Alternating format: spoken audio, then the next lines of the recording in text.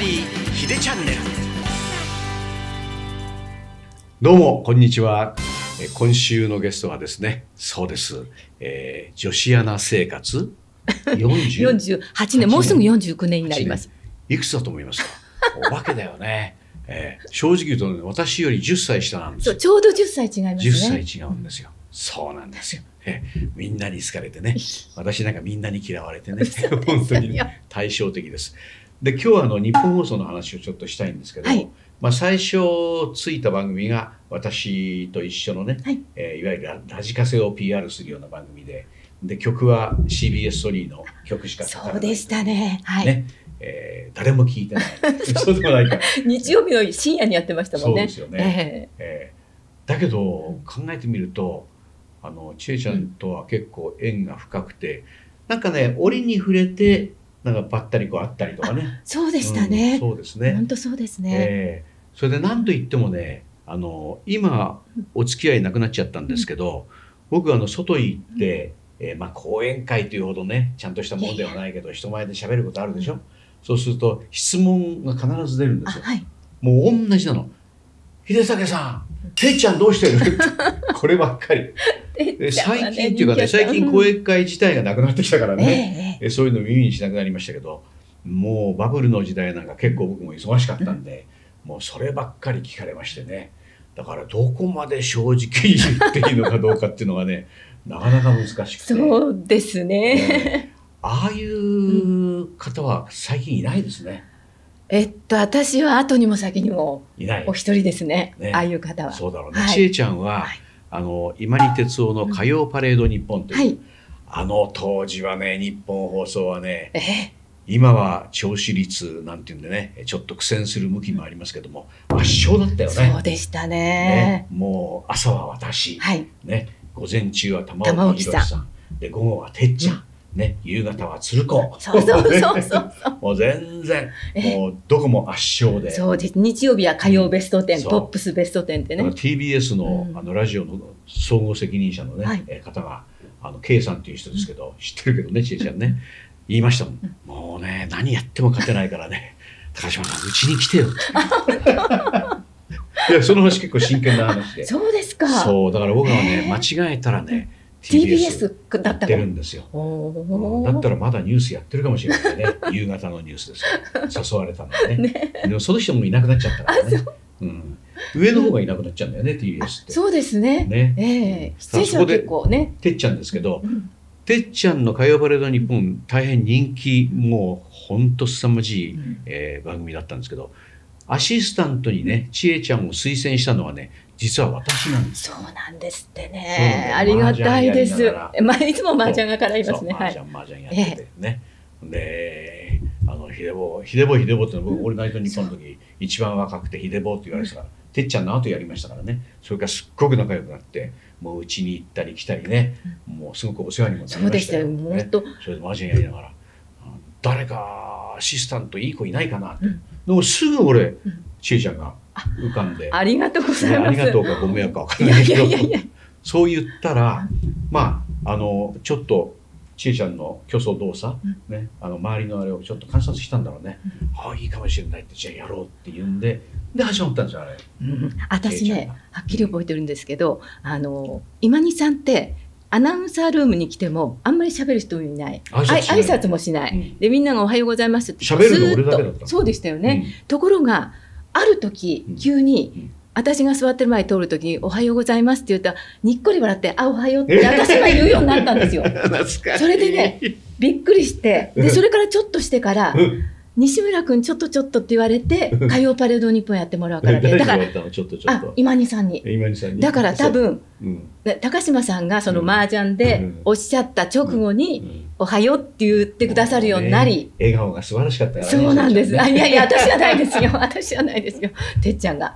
うん、にだからあのびっくりしましたけどね当時ね。でいろいろあってうん私とてっちゃんもそうなんですけどちえちゃんもあの彼とはいろいろあって、ね、でそれである日からあの放送でうん。ほとんど何かこうカフが上がってる時マイクが生きてる時だけの会話でえあとは全くそうなんです。口聞かないっていう。だからあのかなり長い3年以上？ね。もう3年以上ね。そううん3年5ヶ月ぐらいはあの私が朝行ったらまあ礼儀上おはようございます、うん。終わったらお疲れ様でした、うん。その二言言うだけ、うん。うん。でてっちゃんは返事はまあないから、はいはい。そのまま。うん。あででもすっごいなと思ったのは、うん。あの日本放送のカフってこうやって上げるんです。上げ下げするんですよ、うん。ふわっとカフ上げると2人っていうかあのてっちゃんわーっと喋って私もガーガーわーって笑って 面白いから。でねそんなに喋らないぶうん。むっと間はしてる人でもうん。本当に面白いんですよ。それがてっちゃんのすごいとこだなと思うんだけど私もうん。さっきまではでしてたのにうん。心から笑っちゃって。ねちえちゃんもしたたかもう涙も出すぐらいに笑っちゃうんですよ。それぐらい楽しかった。楽しかった。面白い。喋りはね喋りは。ね。それでカフを下ろすと、ああっ。でも次また笑う時面白いんですよ。うんだからそれがね、すごい力量だなと思って、今西さんの。そうそう。えてっちゃんの家へねえ。行って俺驚いたのはねすごい本なんだよ。もうね壁一面それがね何面何面もあるあ、そうですか。それで彼はねすごい読書家でねうんうん。で基本的に頭いいんでしょ。そうなんです。でいろんなことをね。インプットしてて、うん。うん。でその発想が豊かだからまあラジオの天才ですよ。そうですね。土井勝さんがえね土井勝さんって言ってこの間わかんないやつがいたんで俺すごいショック受けちゃったんだけど。土井勝ぐらい放送陣は覚えとけって言うんだよ本当に。えー土井勝さんがねフリーになって活躍したでしょ？それで俺土井さんには可愛がられたの結構。うん、それで飲んでる時にねあのてっちゃんはねなんでフリーにならないんだろうって言うから「いやなんだか知らないけどてっちゃんはねにっこり笑って挨拶するのはね野末陳平さんとね、えー、狭間さんって社長ねはい。それから亀内さんって局長ねその3人だけですから口聞くの俺俺しかいないからって言ったら「ああそう。もうフリーになったらねすごいうん。存在になると思うけどね」ええ。って。でもう当人忘れてると思いますけどタモリさんがはい。出てきた時に、えー誰かそういうね喋りで引っかかった人いるかっつったらてっちゃんのことやっぱり言いましたよ福岡で聞いてたって。そうかもしれませんね。すごいです。あの、本当勉強もよくしてらっしゃるうんし、ものすごい頭にいろいろ入ってて、うんで最初の1ヶ月間はすごくいろいろ教えてくださったんですね、うん。その時はよく喋った時で、でその時はあのあの本読めとか、うん。あの天気予報の時うん。に参考になる本はこれだから、うん。一応買って持っておいた方がいいよとかねいろんなことを教わってもういまだにその本持ってますけれどもすごく勉強になりました。そうだね、いはい。うんやそれは否定しないです、はい。だけど変わってる。変わってる なんか今本当に人と会わないみたいですね。全然合わないですね。私実は会いたいなと思ってるのにね「いやてっちゃん人と会わないよ」って言われちゃって。いや俺もね殴られなかったらね会ってみたいなと思ってる、うん。うん殴らないですよ。いやいやあの鬼人のてっちゃんがね、うん唯一喋り手で認めたのはお前だけだって俺言ったの、そうだと思う。ん。う。、ええ、もう高島だけはね、あの認めると。そあとはダメだ。ってう。ねだってもう本当にあのうん。二言目にはひでぼうひでぼうって可愛がってましたもんね。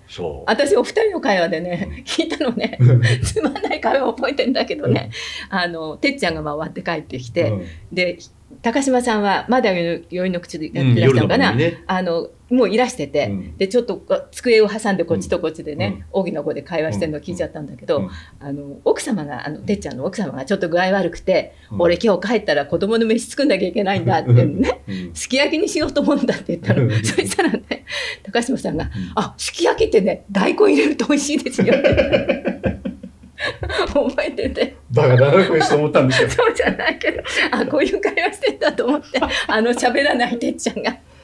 うん。いやーそうなんだよ。